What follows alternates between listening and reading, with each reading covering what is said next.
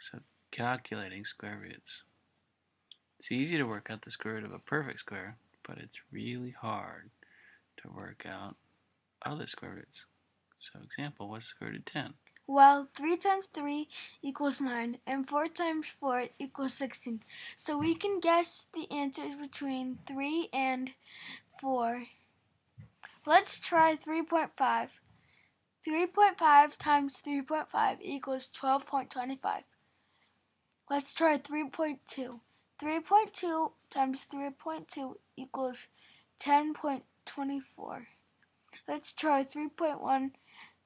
3.1 times 3.1 equals 9.61.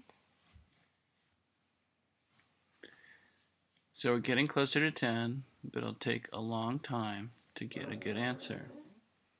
At this point, I get out my calculator and it says 3.16227766, this big long number. But the digits just go on and on without any pattern. So even the calculator's answer is only an approximation. So the easiest way to calculate a square root is to use your calculator's square root button. To use so, and also use your common sense to make sure you have the right answer. Here's a fun way to calculate a square root. You start with a guess. Let's guess that 4 is the square root of 10. Divide the guess. So 10 divided by 4 equals 2.5. Add that to the guess. 4 plus 2.5 equals 6.5. Then divide that result by 2. In other words, have it. 6.5 divided by 2 equals 3.25. Now that's your new guess. And then you start at B again. Divide by the guess. So our first attempt got us from 4 to 3.5. Going again gets us 3.163, then 3.1623.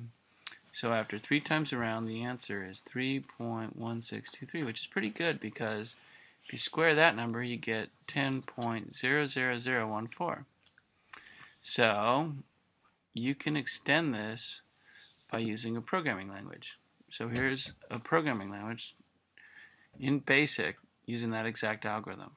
So it first asks you the number you want to compute the square root of, and then it inputs a guess of the square root, and then it says, hey, while those numbers are not very close, let's just do that algorithm.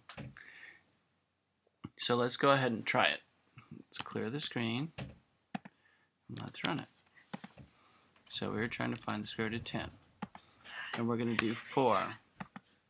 So it runs through one, two, three, four iterations before it gets to 3.162278. So it got even better than that example there. So if we try and, let's say we want to find the square root of 9, we'll say we'll guess it's 2. Well, it only takes a few times for the guess to get to the perfect answer of 3. Let's say we want to try find out the square root of 50,000. And we're going to say, well, we think the that square root of that's 40. And so it takes it only a few times to get all the way to um, the square root of, of 50,000 being 223.606798. Okay, so I just stop the program. I'm going to clear this, and then I'm going to list it again. So, again, the way the program works, and I'm just doing this in BASIC. You can do it in other programming languages if you want. I just know BASIC, so it's easy for me to program in BASIC.